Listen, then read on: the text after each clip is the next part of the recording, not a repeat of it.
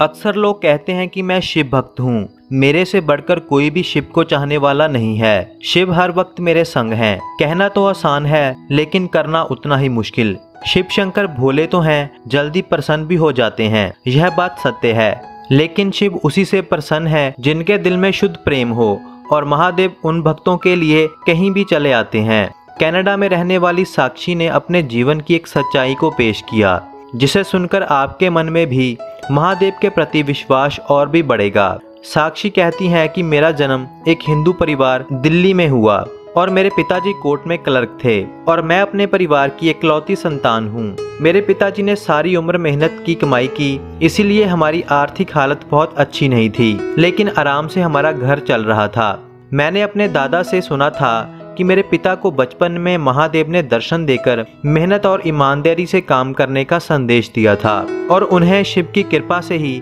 यह कोर्ट में नौकरी मिली थी। घर में महादेव के लिए प्यार का माहौल देखकर बचपन से ही मेरे दिल में शिव के लिए अपार प्रेम था। क्योंकि कहते हैं कि जो शाप बचपन में दिल में छप जाती है, वह सारी उम्र नहीं निकलती। शिव की पूजा आराधना में अपने पिता का साथ देकर मैं ज़िंदगी में आगे बढ़ी। महादेव का आशीर्वाद लेकर ही दिन की शुरुआत किया करते थे।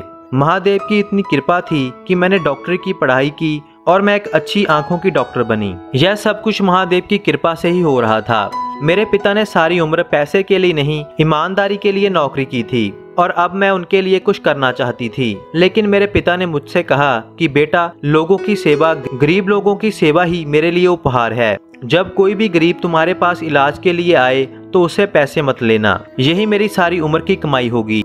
समय बीता तो मुझे कनाडा जाने का मौका मिला। वहाँ पर मैंने एक साल जॉर्जी हॉस्पिटल ऑन्टोरियो गोल्फ में काम किया और वहीं पर सेटल होने का मौका मिला। इधर मेरे पिताजी का देहांत हो गया, लेकिन मैं इंडिया जा नहीं पाई। मेरे पिता का जाने का दुख मेरे दिल में था, लेकिन अपने पिता के सपने मैं पूरे करना चाहती थी। धीरे धीरे समय बीता, मैंने अपनी माँ को भी कनाडा बुला लिया और कुछ साल प्रैक्टिस करने के बाद मैं एक अच्छी आई सर्जन बनी। लेकिन अपने पिता की मौत के बाद जैसे महादेव की पूजा मैंने छोड़ ही दी थी। मानो मेरे पिताजी अपने साथ ही महादेव का प्रेम स्नेह ले गए हों और घर को भी वीरान कर गए हो। वह मंदिर जहाँ पर सारी उम्र हमने पूजा की, वह वीरान घर में पूजा के बिना ही पड़ा था।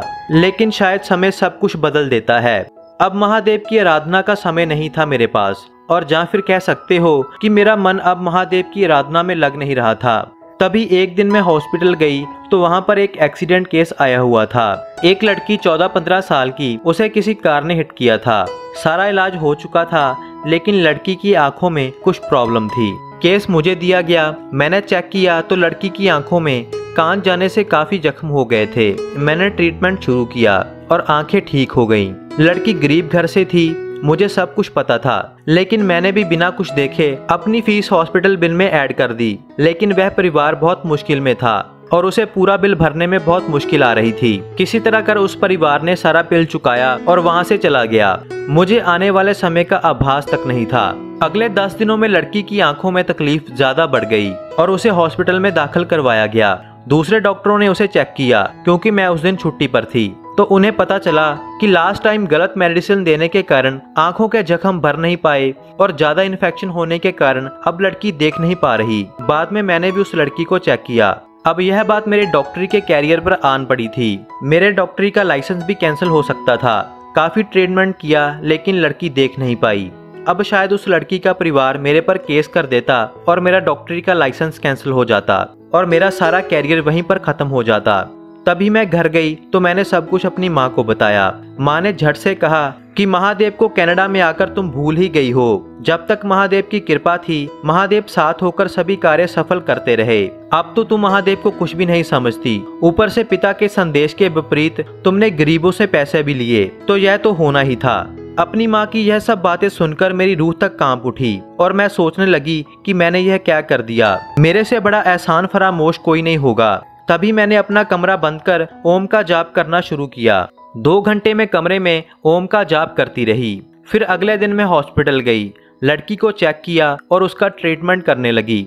अंदर ओम का जाप चल रहा था। तभी लड़की की सर्जरी करनी पड़ी और सर्जरी के अगले दिन ही उसकी पट्टियाँ खुलनी थी। जब अगले दिन लड़की की आँखें खुली तो उसे सब कुछ दिखाई दे रहा था। परिवार तो खुश था लेकिन सारे डॉक्टर बहुत हैरान थे, क्योंकि उन डॉक्टरों का कहना था कि वो लड़की कभी भी देख नहीं पाएगी। यह सब कुछ महादेव की कृपा से हो रहा था। कुछ समय बाद लड़की ने कुछ ऐसा कहा कि वहाँ खड़े सभी लोग हैरान हो गए। लड़की ने कहा कि जब मेरा ऑपरेशन हो रहा था तो मेरे कानों में एक साउंड चल रहा था, और मेरा ऑपरेशन कोई डॉक्टर नहीं, एक इंडियन संत कर रहा था। मैं हैरान हो गई। मैंने बिना कुछ देरी किए महादेव की पिक्चर उस लड़की को दिखाई। उस लड़की ने कहा कि हाँ कुछ ऐसे ही थे, लेकिन बिल्कुल ऐसे नहीं थे। यह सुनकर मेरे दिल को तसल्ली नहीं हुई तो मैंने ओम का जाप उस लड़के को सुनाया। लड़की ने झट ही कह दिया कि हाँ यही साउंड था जो मेरे कानों में चल रहा था, जब वह इंडियन संत मेरी आँखों का ऑपरेशन कर रहे थे। यह सुनकर मेरी आँखें आंसुओं से भर आई कि महादेव खुद चलकर मेरी सहायता के लिए आए थे, और मैं आसान फरामोश उन्हें भूल बैठी थी। मेरे सिर पर जो खतरा था, वो बिल्कुल टल गया। और मैंने उस परिवार से कोई भी फ़ीस या कोई भी ट्रीटमेंट का पैसा नहीं लिया।